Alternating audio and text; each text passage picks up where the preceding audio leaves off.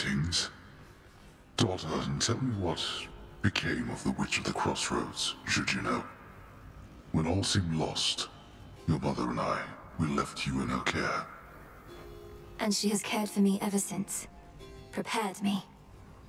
Though we had best not speak of her in these chambers. Suffice it to say, the unseen remain in shadow. Good. She was... Well, as you say, we'd best say nothing more. Though if you have the opportunity, extend to her my deepest gratitude. Headmistress, I have a message from my father that he asked me to relay. He sends his deepest gratitude. Lord Hades told you this. Whatever for? He rots in his own prison whilst the Titan ransacks his domain. My charge was to safeguard the realm, and I did not. Father spoke of when he left me in your care, when Chronos struck.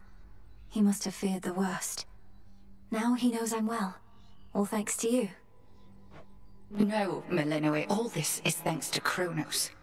Your father would do well to save his gratitude ere we settle certain scores. Who speak not to him of this undignified response. I merely was taken aback. Of course, I understand.